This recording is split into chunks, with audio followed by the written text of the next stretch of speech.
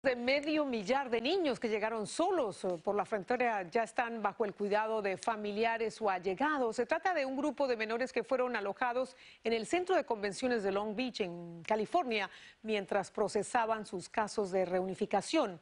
Romy de Frías tiene el reencuentro de una madre con sus dos hijos. Yo me sentí alegre porque iba a estar con él, de vuelta con el amor de una madre. El pequeño Jason durante seis años soñó con el momento en el que abrazaría a su madre nuevamente. Porque ellos, ya están, ellos, mamá, ya no queremos estar aquí, mamá, queremos estar con vos. Me descarra el corazón porque son unos niños, pero tengo que hacer algo por ellos. Vea, no los puedo dejar allá. Es por eso que el pasado mes tomó la difícil decisión de traer a sus hijos de 7 y 11 años desde El Salvador. Prefiero que se lo lleve un coyote a que se lo lleve un marero. Es preferible. Así como Jason y su hermano Aarón, cientos de menores no acompañados han podido ser reunificados con sus padres. El alcalde de la ciudad de Long Beach, en California, Robert García, anunció en su cuenta de Twitter que 534 menores han sido reubicados con patrocinadores, de los más de 700 que habían recibido en el centro de convenciones hace aproximadamente tres semanas.